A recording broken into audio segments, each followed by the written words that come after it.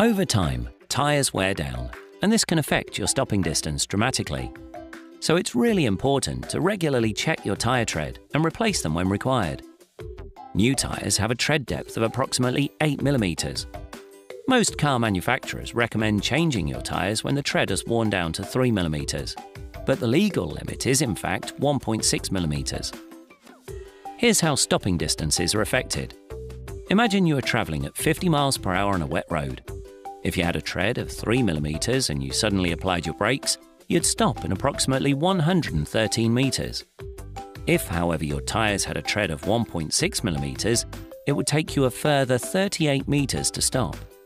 It's also important to check the tyre pressure at least once a month, as under or overinflated tyres can affect the tread and general tyre performance.